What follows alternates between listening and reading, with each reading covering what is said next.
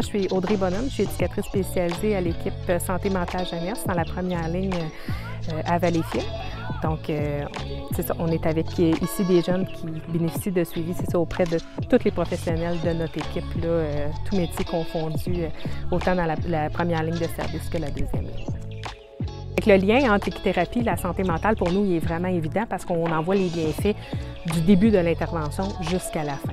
Euh, les jeunes qu'on a sollicités pour venir ici, c'est des jeunes qui peuvent avoir une estime de soi très faible, euh, qui ont de la difficulté à s'affirmer, qui ont des relations conflictuelles avec d'autres jeunes euh, à l'école, qui vont vivre de l'intimidation des jeunes qui peuvent être très anxieux, qui peuvent avoir de la difficulté à gérer leurs émotions. Fait qu'on a différents profils de jeunes, puis eux en vivent tout un bénéfice à leur façon. Parce qu'arriver ici avec les chevaux, bien, premièrement, on fait le transport avec les jeunes. Fait que dans la voiture, c'est des jeunes qui se connaissent pas. C'est des jeunes qui n'ont pas des profils similaires nécessairement, qui se seraient probablement jamais parlé autre que dans le cadre de cette activité-là.